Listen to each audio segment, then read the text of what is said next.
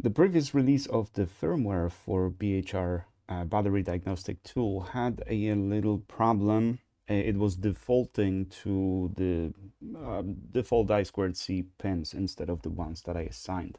So some of you that flashed it couldn't connect to the battery. That was the problem. The fix has been already released. Uh, download the firmware again and and flash it again.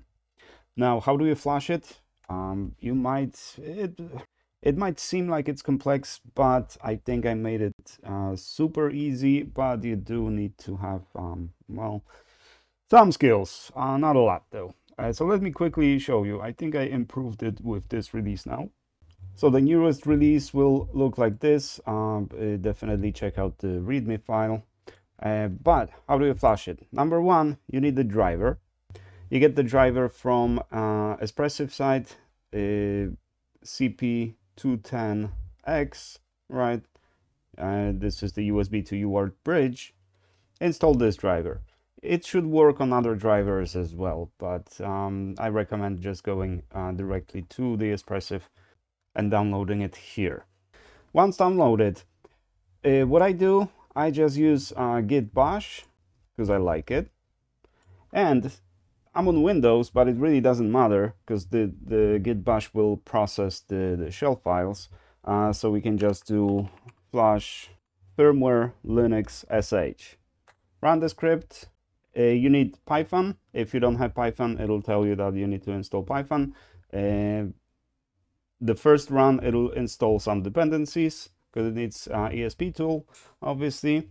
And just select which COM port. COM7 hit OK, and you're done. Now this might happen. Uh, so it says that it couldn't connect to the device. This is normal.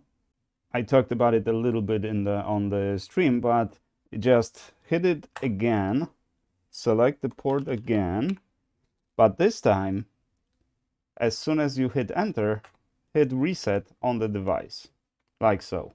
I clicked it few times. Uh, the reason for that is that we're also using the uh, the same interface that we're using for programming. The, the, the code on the device is also using it, so it's kind of interfering. So sometimes it's uh, it's the matter of timing. So if it doesn't work, just uh, restart it and just press reset on the on the device. If you're using new ESP32, that's not going to be your problem. So that's method number one. Let's uh, let's confirm that it works. Let's connect to COM7 and we have our battery. So everything's working. So now, since uh, you probably don't have a git a bash or you don't don't use shell, that's perfectly fine. Just uh, hit command R and, and hit CMD, right? So your regular a command um, command line interface on Windows. Navigate uh, to the directory and in this case we're just going to do flash uh, firmware windows.bat exact same procedure. It works exactly the same. Select the COM port hit ok. You may need to hit uh, reset but this time I didn't need to re hit reset and it's flashed. Now there is a web flasher as well and which uh, personally I don't use but if you want to use it let's do uh, git bash again over here. And you just want to start a, a start web flasher either sh or bat depending on what you use and navigate to this address.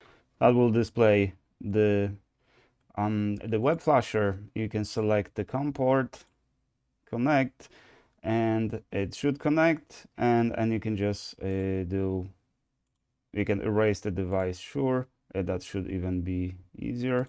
And this also should work but you get no no feedback. That's why i don't use this one because we don't know what's going on right now. Is it working? Is it not working? We don't know. You can see the flashing led on the device and you can kind of assess whether it's actually flashing or not.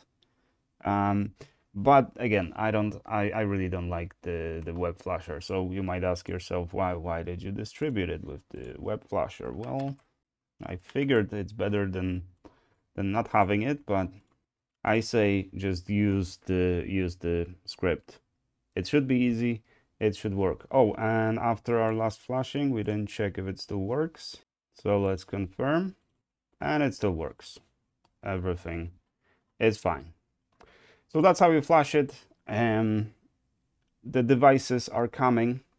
I will have uh, the devices pre-flashed and, and connected and everything assembled and all you have to do is just I connect the wires to the battery and and connect the USB cable. That's it.